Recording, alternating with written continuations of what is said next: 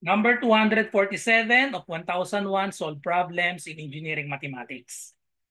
A rubber ball is made to fall from a height of 50 feet and is observed to rebound two-thirds of the distance it falls. How far will the ball travel before coming to rest if the ball continues to fall in this manner? So ang choices natin, 200, 225, 250, and 275 feet. Okay, so try niyo po munang sagutan bago panoodin ang aking solution. Okay, so let's start.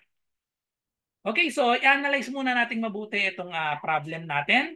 So rubber ball uh, is made to fall from a height of 50 feet. So magsimula tayo sa dito sa height natin na 50 feet. So let's say ito yung 50 feet, i-drawing natin. Okay, so ito yung una, dinrap yung uh, ball dito, 50 feet. So tapos, uh, and is observed to rebound two-thirds of the distance it falls. So yung una, 50. So tapos, magre-rebound siya. So yung pag-rebound niya dito, magiging two-thirds na lang. Ayan. So ito yung pangalawa niya. Ito yung una, 50. Tapos nag-rebound siya dito. Two-thirds na lang. Tapos magiging two-thirds pa ulit nito.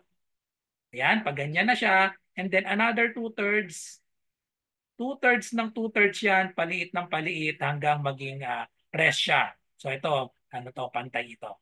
Okay, so yung drawing natin. So medyo tricky ito. Kasi uh, ang gagamitin natin dito ay formula ng uh, sum of infinite geometric progression.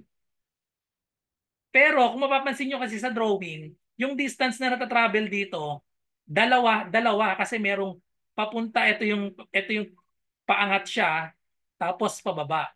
So dalawa yon. Tapos itong pangalawa, magta-travel ulit siya dito. Ayan, yung paangat, tapos yung pababa. Kaya magsisimula tayo dito, ang magiging A sub 1 natin, ito yung magiging A sub 1 natin, itong nagsimula sa 50, ang gagawin natin A sub 1, yung naka-multiply na sa 2 thirds. Kasi lahat yan tigda dalawa. Bukod dito sa naunang 50. So ito yung naunang 50, tapos and then the rest tigda dalawa.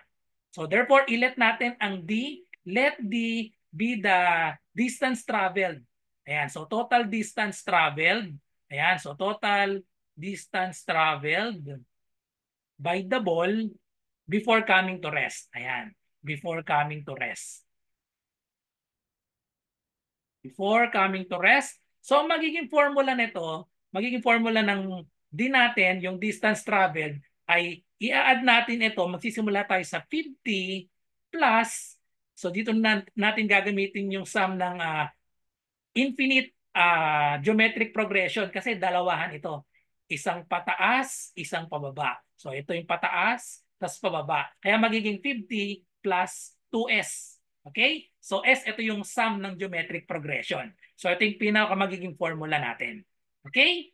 So ngayon, uh, Gamitin natin yung formula ng uh, geometric, infinite geometric pro progression. S is equal to A sub 1 over 1 minus R. So kailan pwedeng gamitin itong formula na to? Kailangan ang R natin ay less than 1.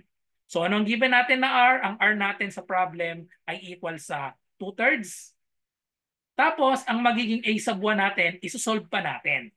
So nagsimula sa 50 feet pero hindi natin gagawing A sub 1 yung 50 feet kasi walang kapartner yung 50. Nagsimula kasi siya sa, ayan, oh, uh, a rubber ball is made to fall. Walang kapartner yung 50. Pababa lang siya. And then the rest, tig the dalawa kasi may pataas, may pababa.